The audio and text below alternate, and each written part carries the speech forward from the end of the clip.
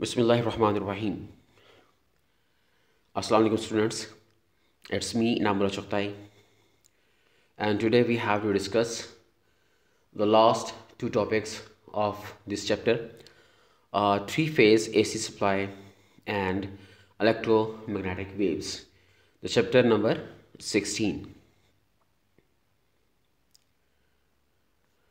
So students, first of all, we must have to keep in mind certain, points or the contents just before starting our topic three phase AC supply.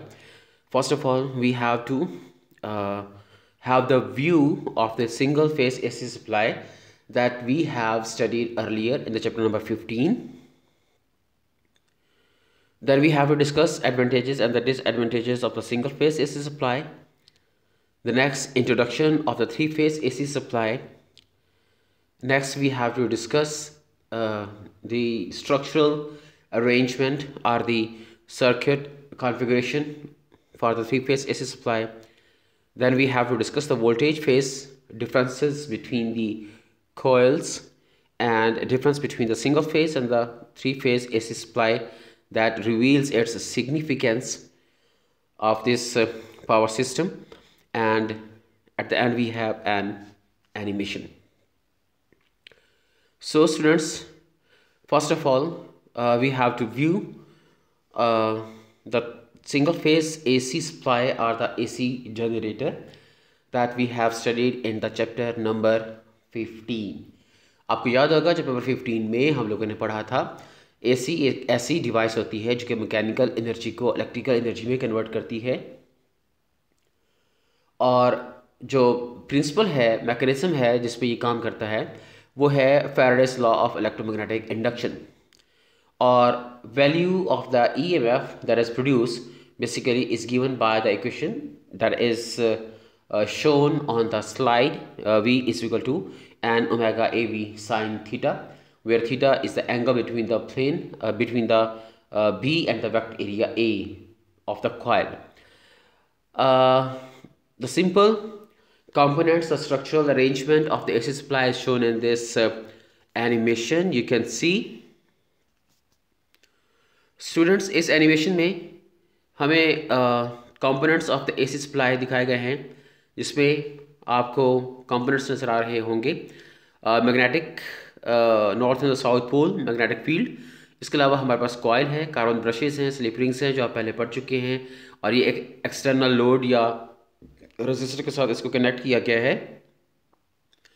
और coil rotate करती है magnetic field में flux बदलता है और continuous changing flux के अंदर current पैदा करता है। आप करंट की डायरेक्शन देख सकते हैं during the half rotation the current flows in one direction and during the next half rotation of the coil in the magnetic field the current changes its direction so that's why it is called alternating current and this is the alternating voltage source which we are studying AC supply or the A C generator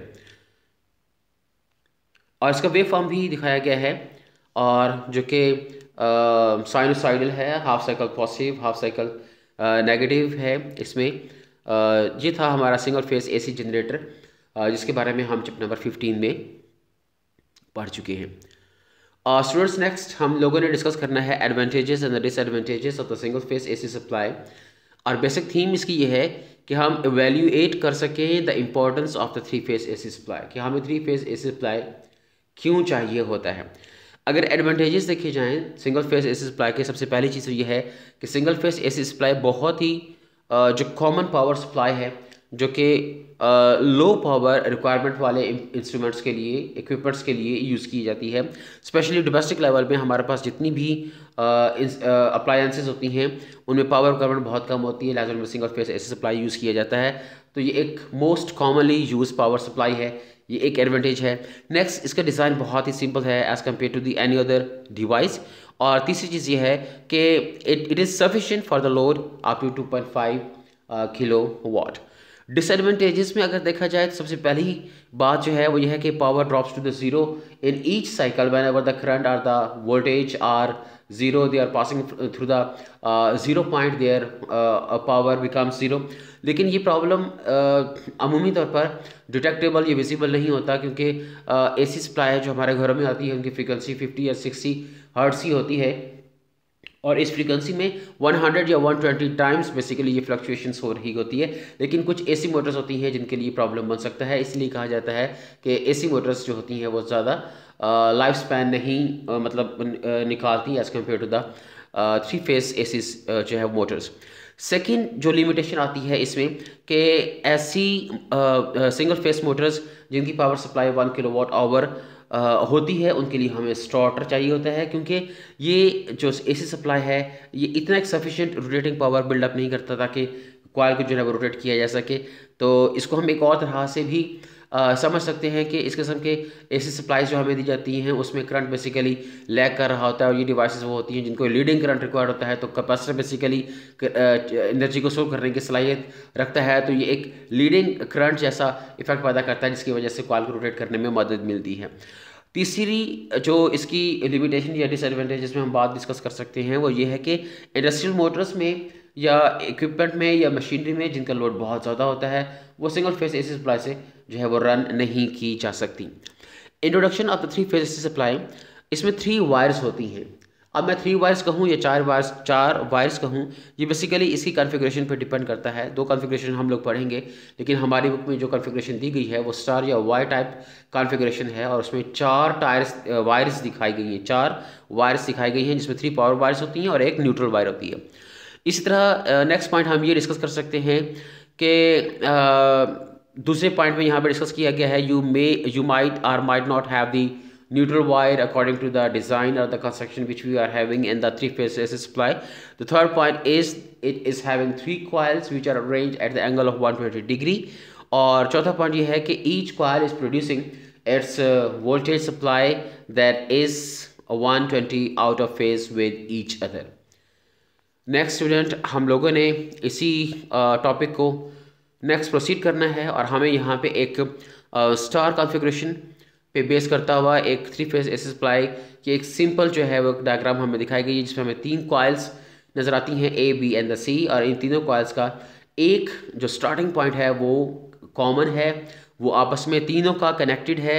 ये एरोसाइन आपको दिखाता है कि इसके जो common terminals जो है वो तीनों के आपस में जोड़ दिए गए हैं और ये कॉमन टर्मिनल है बेसिकली ये न्यूट्रल को बिल्डअप न्यूट्रल पॉइंट कहलाता है, या न्यूट्रल कहलाता है और जो बाकी सिरे हैं ए बी और सी तीनों कॉल्स के वो लाइव होती हैं या पावर वायर्स होती हैं, जिसे गर्म तार कहा जाता है या जिसे अमूमी तौर पर जो है ना वो रेड कलर से दिखाया जाता है तो वो बेसिकली फेस कहलाती हैं।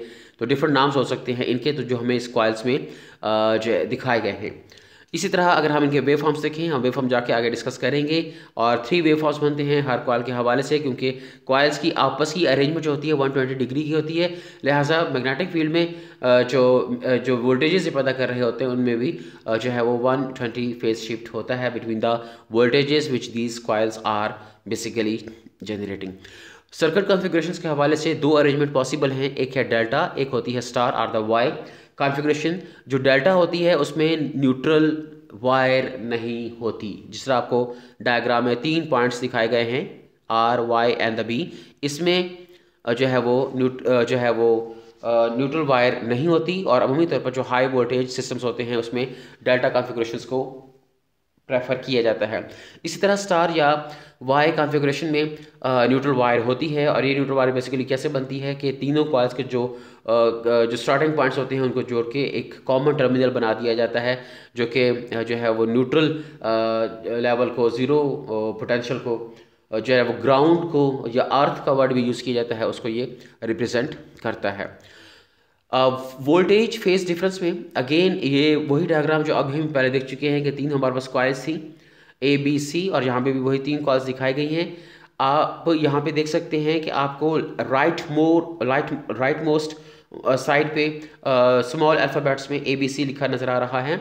तो ये जो लाइंस हैं बेसिकली इनके वोल्टेजेस के लेवल को ज़ाहिर करती हैं। तो इसमें टर्मिनल्स के साथ मतलब जो लाइव टर्मिनल्स हैं, उनके साथ उनकी लाइंस को और उनके वोल्टेजेस को with respect to the neutral दिखाया गया है। ज़रा गौर से देखिएगा, समझने वाली चीज़ है कि ए और बी जो दो लाइंस दिखाई गई हैं, इन दो लाइंस के दरमियान जब हम बात करते हैं तो वो कॉयल ए और कॉयल बी के दरमियान वोल्टेज का डिफरेंस होगा, जो कि 400 वोल्ट्स होगा। इसी तरह बी और सी कॉयल्स के दरमियान डिफरेंस देखा जाए तो वो भी 400 का होगा। इसी तरह ए और सी के दरमियान वोल्टेजेस का डिफरेंस देखा जाए देखा जाए तो वो भी 400 वोल्ट्स होगा। और अगर हम इन में से किसी कॉयल के वोल्टेजेस को न्यूट्रल के साथ कंपेयर करते हैं मींस ए को डी के साथ न्यूट्रल के साथ कंपेयर कर लें या बी को डी के साथ अगेन न्यूट्रल के साथ कंपैरिजन कर लें या सी का न्यूट्रल के साथ कंपैरिजन कर लें तो न्यूट्रल के साथ हर एक कॉयल के जो वोल्टेज बनते हैं वो 230 बनते हैं। इसमें ये एक बात इंपॉर्टेंट है कि हर एक कॉयल 230 वोल्ट पैदा कर रही है, लेकिन इस पूरे एसी सप्लाई का जो जो है वो, जो आउटपुट होगी, वो three times of the two thirty नहीं होगा। और उसकी वजह यह है कि जब एक कॉयल अगर ज़ीरो फेस पे है और वो ज़ीरो जो आउटपुट दे रही है वोल्टेज की वैल्यू ज़ीरो है तो दूसरी कॉयल 120 के एंगल पे होगी और 120 फेस पे कुछ ना कुछ वोल्टेज दे रही होगी। इस तरह जो तीसरी कॉयल है, वो 240 के एंगल पे होगी और वो 240 के फेस पे कुछ ना कुछ दे रही होगी वोल्टेज पैदा कर रही होगी। इस तरह तीनों कॉयल्स के वोल्टेजेस का जो वैक्टर सम होता है, वो कैलकुलेट किया जाता है, जो कि अमूमी तौर पर चार सौ या चार सौ पंद्रह वोल्ट्स के करीब बनता है। इसी तरह यहाँ पर डायग्राम में भी आपको थ्री फेजेस दिखाई गई हैं और इन थ्री फेजेस को 120 के एंगल पे चेंज होता हुआ दिखाया गया है। आप याद रखेंगे कि हमारे पास टोटल सप्लाई जो हमारे पास मिलेगी, जो आउटपुट होगी इस किस्म के जनरेटर्स की थ्री फ़ेज़ पावर सप्लाई की, वो 400 वोल्ट्स होता है, जो कि सफिशेंट है किसी भी हैवी लोड को रन करने के लिए। नेक्स्ट हमने डिस्कस करना है difference between the single and the three phase power supplies single phase में और थ्री फेस में क्या डिफरेंस होता है? अब सिंगल फेस में सबसे पहली बात यह हमने टू वायर्स की बात की है। एक ठंडी, एक गर्म, एक लाल, एक काली, इसके वर्ड इस किस्म के यूज़ किए जाते हैं। यहाँ पे हम फेस और न्यूट्रल का वर्ड यूज़ कर सकते हैं कि दो तारे होती हैं, एक फेस होती है, एक न्यूट्रल होती है। जबकि हमारे पास जो थ्री फेस सप्लाई होती है, उसमें तीन या चार तारे होती हैं। अब जो हमारे पास डेल्टा अरेंजमेंट है, उसमें तीन तारे थी, जो हमारे पास वाई या स्टार अरेंजमेंट है, जो हमारी बुक में अवेलेबल है, उसमें चार तारे हैं जिसमें तीन फेस है। तीन लाइव वायर्स हैं और एक न्यूट्रल है तो चार तारें हो सकती हैं।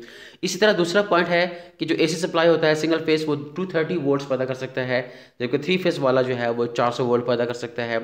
इसी तरह तीसरा पॉइंट हमारे पास आता है सिंगल फेस में कि same amount of the power अगर हम रखें दोनों जनरेटर्स में तो सिंगल फेस वाला जो है, उसके लिए ज़्यादा तार की ज़रूरत पड़ती है, जबकि same amount of the power for the three phase AC supply it requires less wire इसी तरह जो हमारा सिंगल फेस है वो लो एफिशिएंट है उसकी एफिशिएंसी कम होती है और लेस पावर ट्रांसफ़र कैपेबिलिटी होती है।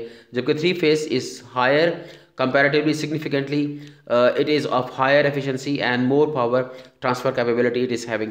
और at the end जो single phase से सप्लाई होता है उसकी डिज़ाइनिंग और कंस्ट्रक्शन सिंपल होती है जबकि थ्री फेस थोड़ा कंपैरेटिवली कॉम्प्लेक्स होता है।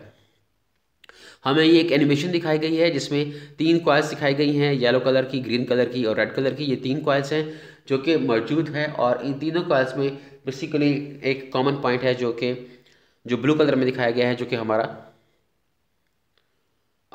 न्यूट्रल को ज़ाहिर करता है। इसमें बेसिकली जो रूटर है आ, वो रोटेट कर रहा है मीन्स मैग्नेटिक फ़ील्ड जो है वो रोटेट कर रहा है कॉयल स्टेशनरी है।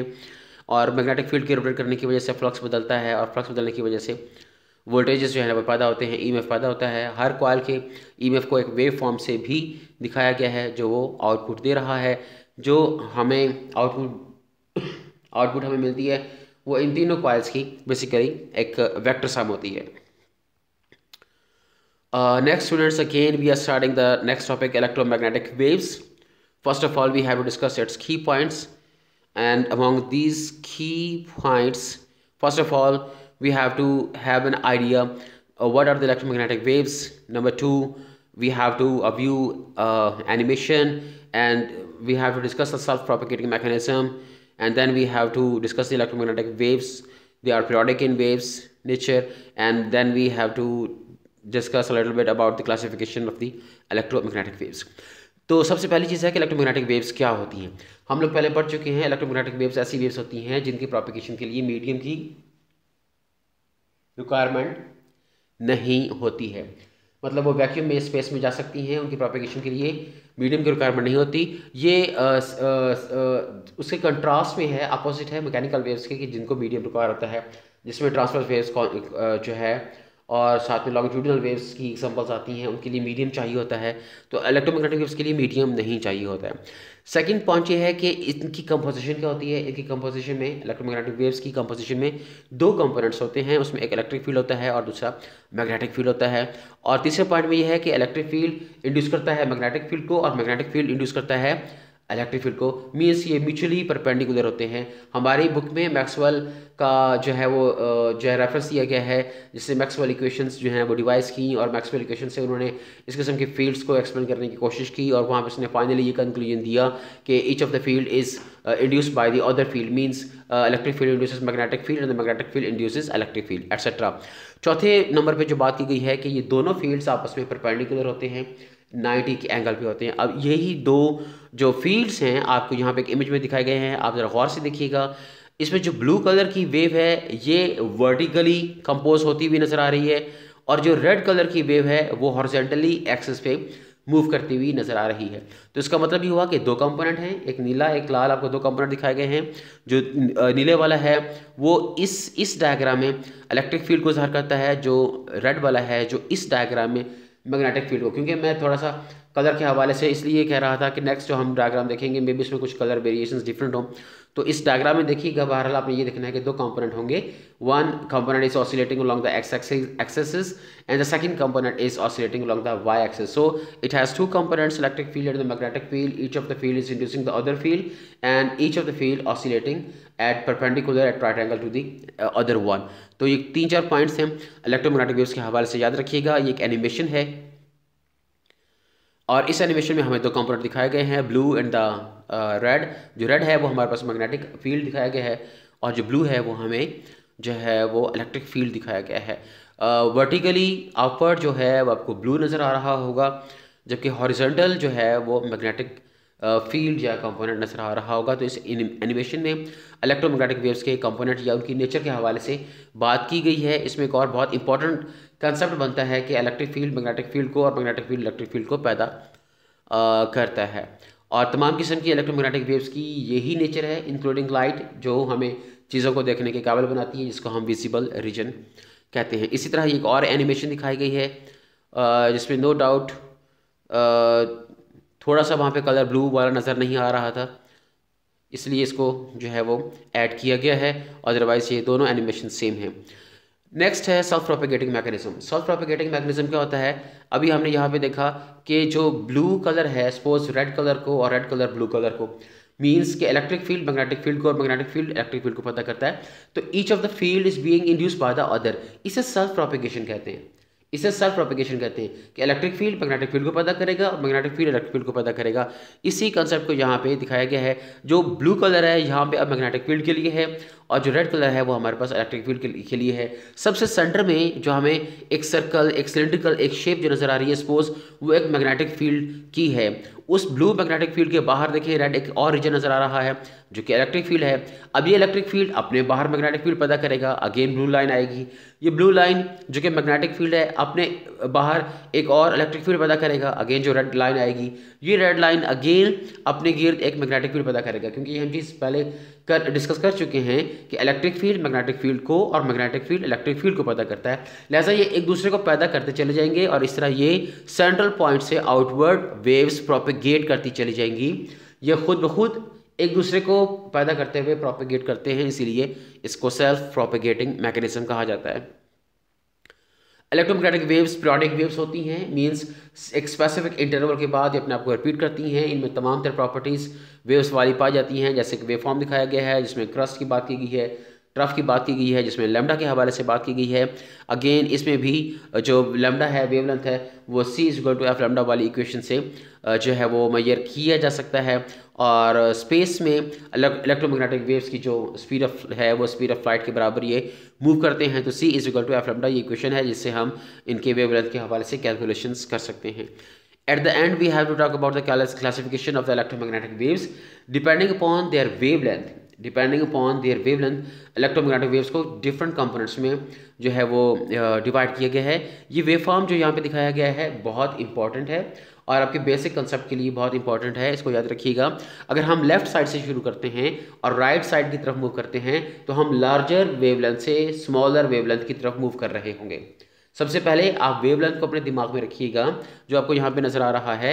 हम अगर लेफ़्ट साइड से शुरू करते हैं और राइट साइड पे जाते हैं, ये मैं इसको थोड़ा फोकस करने की कोशिश कर रहा हूँ कि हम लेफ़्ट साइड से शुरू करते हैं और हम ये राइट साइड की तरफ़ मूव करते हैं तो हमारा वेवलेंथ कम होता चला जाएगा। तो जहाँ वेवलेंथ ज़्यादा है, वहाँ पे बनने वाली वेव्स आपको नज़र आ रही हैं। वो रेडियो वेव्स हैं माइक्रो वेव्स हैं। वेवलेंथ और कम होता चला जाएगा इंफ्रारेड उसके बाद विजिबल अल्ट्रा अल्ट्रावायलेट और गैमा रेस एट्सेट्रा ये डिफरेंट कंपोनेंट्स बनते चले जाते हैं। तो ये जो इलेक्ट्रोमैग्नेटिक वेव्स की हमने क्लासिफिकेशन की है, या जिसको हम इलेक्ट्रोमैग्नेटिक स्पेक्ट्रम बोलते हैं different components of the electromagnetic waves basically electromagnetic spectrum कहलाते हैं। तो ये किस बेस पे हमने इसको क्लासीफाई किया है? इनके वेवलेंथ की बेस पे। और इसको समझना बहुत आसान है। आप ये याद रखें कि हम लेफ़्ट से डाउनवर्ड मूव कर रहे हैं, और लेफ़्ट से डाउन जाते हुए हम टूवर्ड्स आ डिक्रीजिंग वेवलेंथ की तरफ़ मूव कर रहे होंगे। लिहाजा जितना वेवलेंथ कम होता चला जाएगा, उतना फ्रिक्वेंसी ज़्यादा होती चली जाएगी और जितनी फ्रिक्वेंसी ज़्यादा होती चली जाएगी, उतना एनर्जी भी ज़्यादा होती चली जाएगी। लिहाजा सबसे लॉन्गर वेवलेंथ किसका है? रेडियो वेव्स का। रेडियो वेव्स का वेवलेंथ सबसे ज़्यादा है। और सबसे छोटा वेवलेंथ किसका नज़र आ रहा है? किसका दिखाया गया है? गैमा रेस का। तो जिसका वेवलेंथ कम होता है, उसकी फ्रीक्वेंसी ज़्यादा होती है। इसका मतलब यह है गामा गैमा की फ्रीक्वेंसी ज़्यादा है। और गैमा रेस की फ्रीक्वेंसी अगर ज़्यादा है तो E is equal to H F हमारे पास फार्मूला है तो इसकी एनर्जी भी ज़्यादा होगी। लिहाजा इस स्पेक्ट्रम में जो सबसे कम एनर्जी रखने वाला कंपोनेंट है, वो कौन सा है? सबसे कम एनर्जी रखने वाला कंपोनेंट कौन सा है? वो रेडियो वेव्स हैं। तो रेडियो वेव्स का जो कि वेवलेंथ लॉन्गर है फ्रीक्वेंसी कम होगी, और फ्रीक्वेंसी कम होगी तो इनकी एनर्जी भी कम होगी। तो ये हमारे लास्ट टॉपिक थे, जो आज हमने जो है वो मुकम्मल किए इन नेक्स्ट लेक्चर में हम लोग डिस्कस करेंगे शॉर्ट क्वेश्चंस और मेरिकल्स को। अपने सैटरडे के लेक्चर के साथ हम अपने फेसबुक पेज पे एक टेस्ट या एक असाइनमेंट जो है वो मैं इसको अपलोड करूँगा। तो आप उसको देखिएगा। उसको आपने ज़रूर लिखना है। जब आप कॉलेज आएँगे इन तो उसको आप सबमिट करवाएँगे। और ये आपको इन सैटरडे हमारा दिन है फिज़िक्स के हवाले से फ़र्स्ट ईयर सेकेंड ईयर दोनों के हवाले से। तमाम स्टूडेंट्स को बताइएगा फ़र्स्ट और सेकेंड ईयर के स्टूडेंट्स को कि वो उस असाइनमेंट को देखें और उसको प्रॉपरली जो है उसको अटैम्प्ट करने की कोशिश करें। Okay, thanks a lot. Stay blessed. Allah Hafiz.